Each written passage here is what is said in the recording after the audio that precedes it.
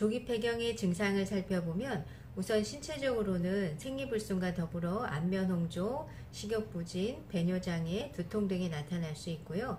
정신적으로는 감정 기복이 심하고 집중력이 떨어지며 불안과 초조 등의 증상이 나타날 수 있습니다.